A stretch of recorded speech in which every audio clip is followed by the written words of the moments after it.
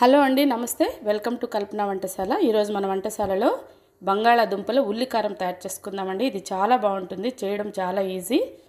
ఇది చపాతీ నాన్ పుల్కాలోకి చాలా బాగుంటుంది. అలాగే మసాలా దోశల మధ్యలో పెట్టుకొని కూడా తినచ్చండి.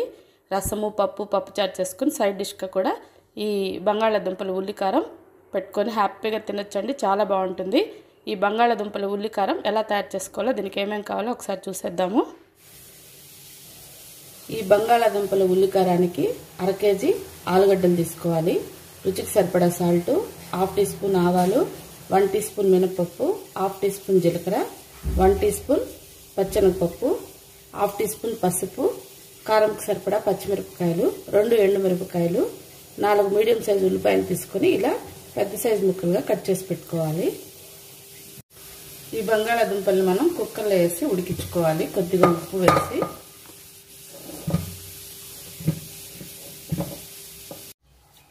బంగాళాదుంపల్ని ఈ మర కడిగేసి కుక్కర్ గిన్నెలో వేసుకొని ఇలా మధ్య కట్ చేసి వేసుకుంటే మనకి ఉప్పు పట్టి బంగాళాదుంపలు మంచిగా ఉడుకుతాయి.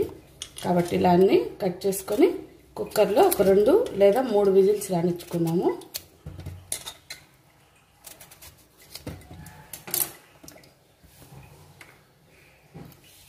కొద్దిగా ఈ బంగాళాదుంపలకు సరిపోయే విధంగా ఒక హాఫ్ టీ స్పూన్ సాల్ట్ వేసుకొని రెండు విజిల్స్ రానిచ్చుకున్నాము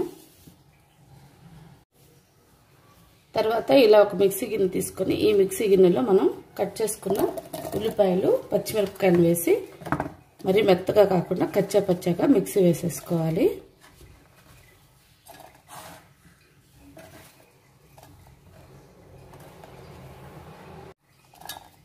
నీళ్ళు వేయకుండా ఈ ఉల్లిపాయల చెమ్మతోనే మనం వీటిని మిక్సీ వేసేసుకోవాలి. ఈ విధంగా మనం ఒక్క ముక్క మిక్సీ వేసేసుకోవాలి ఉల్లిపాయలని పచ్చిమిరపకాయలని మరి మెత్తగా వేసుకోకూడదు.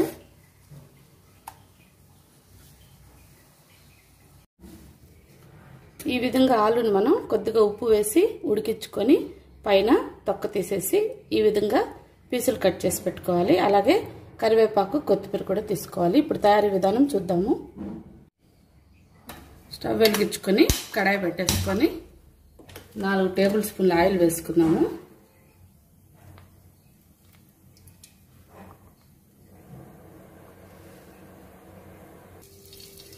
ఆయిల్ కాగిన తర్వాత మనం తీసుకున్న ఆవాలు జీలకర్ర మినపప్పు పచ్చనపప్పు వేసేసుకొని ఫ్రై చేసుకున్నాం కలుపుకుంటూ.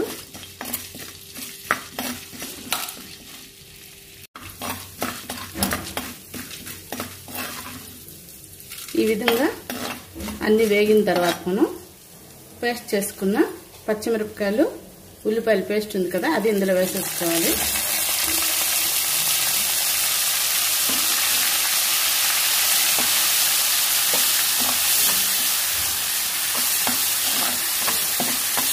ఉల్లిపాయలు పచ్చి వాసన పోయేంత వరకు ఇలా ఆయిల్లో ఫ్రై చేసుకోవాలి.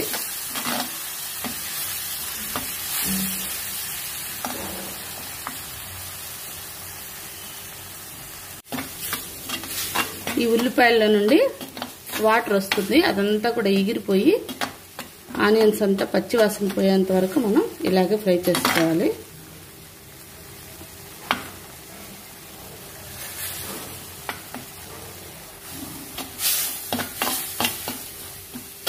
ఇలా ఈ విధంగా వేగినప్పుడు మనం ఇందులో ఉప్పు పసుపు యాడ్ చేసుకోవాలి.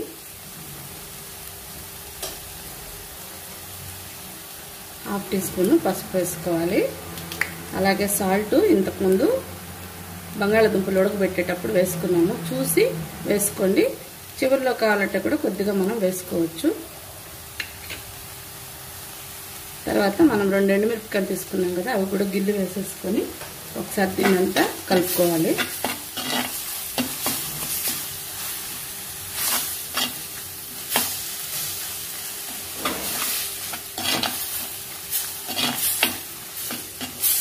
చేయడం చాలా ఈజీ అండి. చపాతీలోకి కానీ పూరీలోకి కానీ. పులిహోర పెట్టుకొని పక్కన ఈ ఆలు ఫ్రై తింటే కూడా భలే ఉంటుందండి. తర్వాత వేడి వేడి అన్నంలో కూడా కలుపుకొని తినచ్చు. ఇలా బాగా మిక్స్ చేసుకున్న తర్వాత కరివేపాకు మనం ఉడికించుకున్న ఆలు ఉంది కదండి అవన్నీ ఇప్పుడు వేసేసుకోవాలి.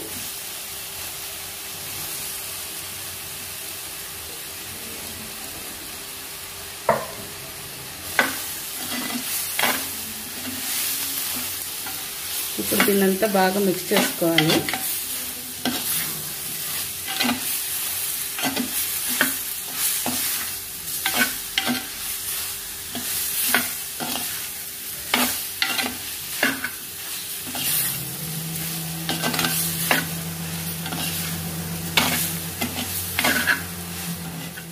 సన్న మంట మీద దీన్ని ఒక రెండు మూడు నిమిషాలు ఇలా వేయించుకోవాలి.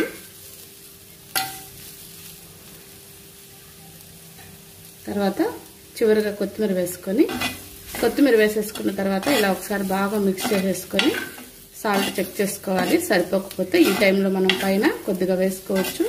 అలాగే కారం సరిపోకపోతే కూడా పచ్చికారం కొద్దిగా వేసుకొని ఒక నిమిషం పాటు వేయించుకున్న తర్వాత దీన్ని మనం సర్వింగ్ బౌల్లోకి తీసేసుకోవచ్చు. సాల్ట్ చెక్ చేద్దాము. అన్నీ సరిపోయినాయండి. స్టవ్ ఆఫ్ చేసుకుని సర్వింగ్ చేసుకుందాం.